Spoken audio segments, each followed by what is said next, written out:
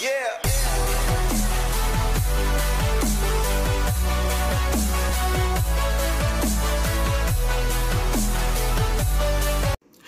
Hello everyone, it's Attacker2 here, and for today, welcome back to another one of my review videos where for today's topic. We are about to discuss and review, which is the latest in the Xenoblade franchise by Monolith Soft, Xenoblade Chronicles 3. It has been over three weeks since uh, since the game came out, almost an entire month has gone by, which is pretty insane, and before the, the game came out, there was a lot of very positive reviews about it. I've seen some that are kind of negative, and I've seen some that are pretty, that some say that the game is even mediocre, and such. But for this video, I mean, I'm going to be talking about my personal thoughts and opinions about this. And before I even get started with the review, I do want to say that this is pretty much the last entry to the Xenoblade franchise, uh, according to Takahashi himself. He did confirm that this is the very last franchise, the very last installment to the Klaus Saga specifically. So, I mean, there's still hope for Xenoblade Chronicles in the future. And another thing is that even though it's only been three weeks since the game came out, I've seen some on Twitter and on YouTube already getting uh, they're still like on chapter 4 or 5 or just in the middle of chapter 3 so I don't want any so if you do not want any spoilers whatsoever because I'm gonna be talking about them a lot then I highly suggest you just get out of the video as soon as possible. But if you don't care about spoilers well let's just get started on talking about Xenoblade Chronicles 3 now, since Xenoblade Chronicles 3 is the very last installment to the Klaus Saga and the franchise itself for now, the question is, did the series end off with a great bang, or did it pretty much, you know, end it with a sad whimper? Well, I can safely say that Xenoblade 3 is the is like the best the franchise has ever been. Like, the reputation for Xenoblade Chronicles for the past 10 years, over 10 years so, and, and so, has been kind of niche and very mixed in terms of it. Xenoblade Chronicles from the first game, even though, like, Nintendo never wanted any, you know, you know, they didn't have any faith for the original Xenoblade Chronicles for the Nintendo Wii, they managed to do that after Shulk came out for Smash Brothers, and then decided to do a 3DS port on the new Nintendo 3DS, so you can say say that because of Shulk's popularity and his, you know, inclusion in Smash Brothers, Xenoblade Chronicles definitely, you know, had a lot more, and it was so great that they decided to make a full-on remaster or remake along with a brand new story just to make things even better, which is pretty great to hear. And I'm really glad that Monolith gave this game another chance because, you know, since the reputation, because there is another game that kind of ruins his reputation, in my opinion. But uh, we'll just go further on.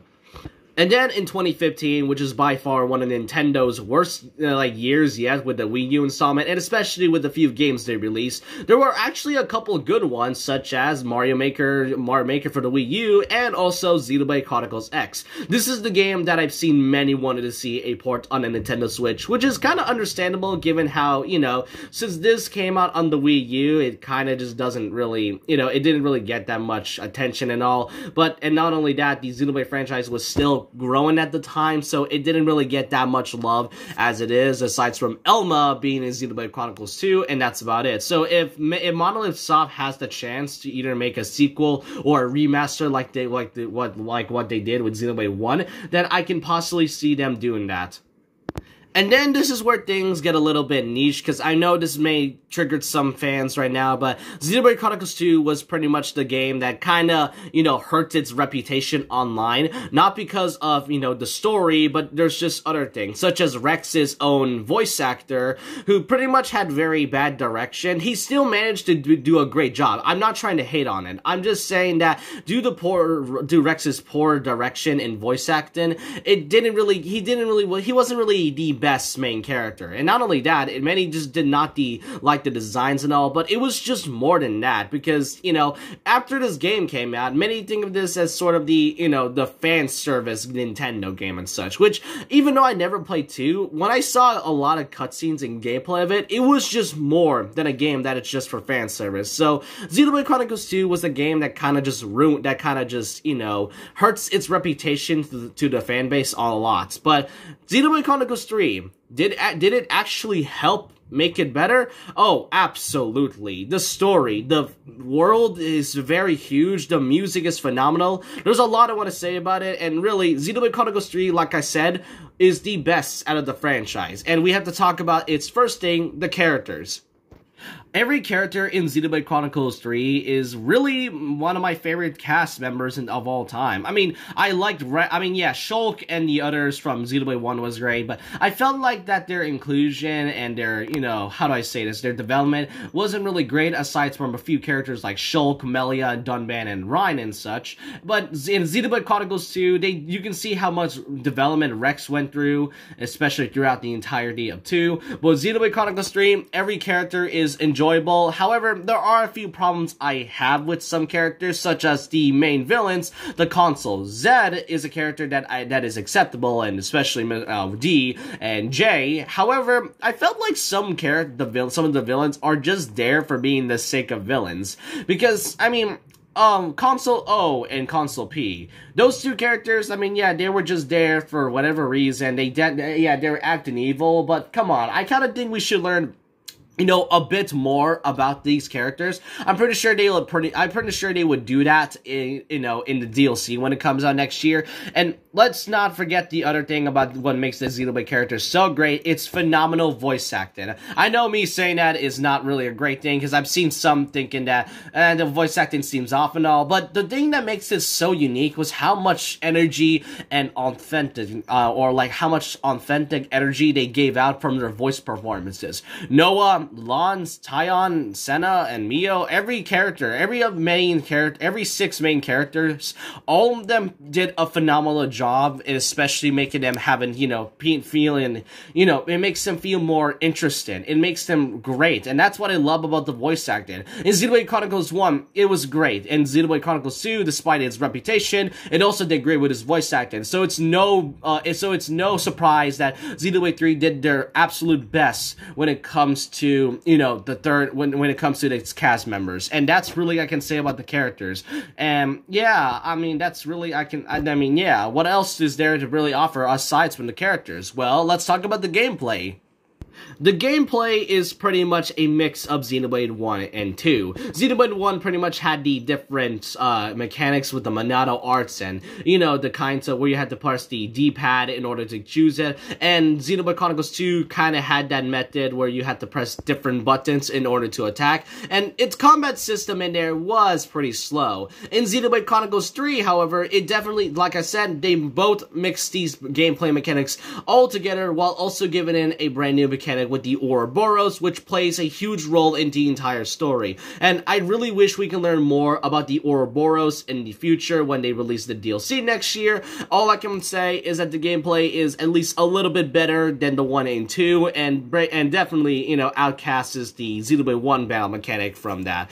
Overall, there that's pretty much it about the gameplay. Another thing is it's open world, Flynn. Like, it's like vast open world energy. I cannot believe, like, I, you know, I, cause when I saw the visuals, and you know, the landscape of each world in Xenoblade Chronicles 3 Aionios. I just thought it was just going to be a simple thing like in Xenoblade Chronicles 1 with its small landscape and maybe with the Cloud Sea of Alrest in Xenoblade Chronicles 2 with the Orion Beast and, and all. But no, uh, it, Xenoblade Chronicles 3's world is absolutely huge. I see, I went, went through every single place in that game for the past few weeks and all, and I was surprised how huge this world is, and especially when you get into other places like the colonies and you know the city, the castles, even this place called the city, which will play a huge role, which does play a huge role if you're not far in Xenoblade 3 and all. But yeah, it was surprisingly great. It is so huge that I'm not even sure if completionists can finish it all in like a month and all. It'll definitely take a while, and especially with the DLC, uh, you know, further on with Wave 2. Maybe it's still coming out this year. Anyhow, this like I like and like I mentioned, this world, I just can't believe how huge it is. And another thing to mention is that I do also love its enemies. There's like three different types of enemies, like the normal ones, the um, there is a blue icon that I wasn't too sure. I think that's just kind of something else. But then there's also the super bosses and unique monsters, which are definitely hard and to defeat if you're not careful or into the strategies and all. And another thing that makes this game spicing stuff with the giant world itself, itself are its heroes, which is basically your seven party member. I was confused a bit with Riku and Manana, despite them, you know, being with you the entire game, but I don't mind the hero selection at all. As not only does it give more characters, it also gives them development each one by one. And that's what I really like about, you know, Xenoblade Chronicles' his own cast members. And really, the hero selection makes it even better when you do the Ascension quest in, in a way where you can learn more about the characters, and you can pretty much love them more in a way. I already love Gray, and it doesn't really matter if we don't know much about him, even though he we did get an Ascension quest. All that matters is that, you know, I, I just like Gray, that's all. That I, yeah, I know. I'm just, I'm just, you know, mixing in the cast and the gameplay and such. But even if so, like the performances for every character and the vast open world, no wonder why the Xenoblade Chronicles games are such a beautiful experience. It's and another thing I do want to mention is its music because wow, I love the music itself. There is a lot of things I can really say about it. A step away, you will know you will uh, know our names. I think I feel like there was another name for that, but overall, I do just love the music as well. And but the wrong problem I do have was the chain attack music because whenever you play Xenoblade Chronicles, there's always a chain attack method. With Xenoblade Chronicles 3, even though you're playing a game that has a series serious moment and such and something else with the music still kicking in. The chain attack attack music soundtrack just comes in and sort of ruins it. I've seen many wanting to just uh, wanting Monolith Soft to just find a way to disable the Xenoblade 3 music, the Xenoblade 3 uh, chain attack music because it uh, it kind of does ruin the moment. To which I do agree. There were some gameplay moments where I kind of just felt, eh, this place kind eh, I'm not I'm not gonna lie, this does kind of ruin the mood and such. But maybe in a future update they will. I mean, who knows whether or not they'll do it in like Wave 2 when it comes out. Uh, yeah, that's all I can say about the gameplay. I know we went to a whole long tangent, and like I said, the music, the cast, and everything in the world is very phenomenal as well. Um, and yeah, that's pretty much my review for Xenoblade Chronicles 3. This was pretty much a beautiful experience that I will never, ever, you know, see again. Like, I played games that are pretty amazing in terms of its gameplay, its story and such, like Breath of the Wild, Final Fantasy VII, Kingdom Hearts, but Xenoblade Chronicles was a series that pretty much takes it to a whole number another level with its voice acting. The cast the cast and characters its gameplay its beautiful open world its beautiful open world landscape of Aionios. And the story itself is one of the darkest things i've seen in xenoblade chronicles and yet. I mean yeah the first one had the war between bionis and the mechonis and xenoblade chronicles 2 pretty much had a lot of backstory when it comes to the Alrest and the architect and especially you know with some of the blades and such. But xenoblade Chronicles 3 takes it to it is one of the darkest things I've seen in terms of story, in terms of story, in my opinion. I know me saying that is not gonna,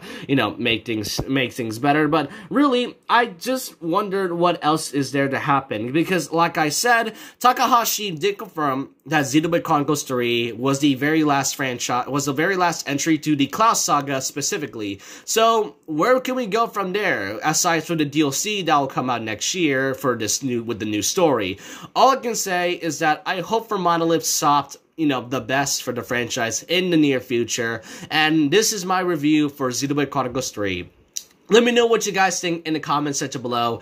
Uh, what do you all think about this game? Do you think this is one of the best ever RPGs that Nintendo and Monolith Soft has ever made? Or do you think this game is great and all, or just think it's niche? Or do you just not like it and really just play it for the sake of just playing it? Or, you know, whatever you, whatever your opinion is, really. I just want to know all your thoughts and opinions down below. This game is one of the best experiences, and also I cried during the ending and all. Yeah, yeah, I tend to get emotional when it comes to things. Xenoblade has never made me emo. There's no video game that's ever made me emotional until this one. But I want to know all your thoughts and opinions down below about this. And so with that, leave a like, comment, subscribe, hit the notification bell for more videos, follow my Twitter, and I'll see you guys next time. And if you guys do not want to subscribe, then that's completely fine by me. I just want you all to enjoy the experience for Xenoblade Chronicles 3 as much as possible until the end next year. And so with that, um, remember this, once a legend, always a legend. Like